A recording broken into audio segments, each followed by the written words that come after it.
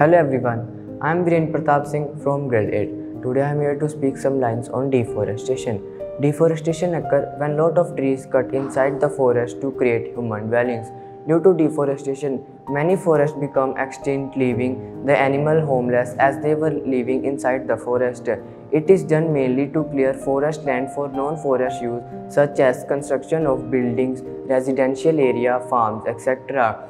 When number of people increase, then there is need to clear forest land in order to provide them houses. It shows the whims and wishes of human being to make cities bigger in area to build more houses to create good infrastructure in cities, etc. Thank you.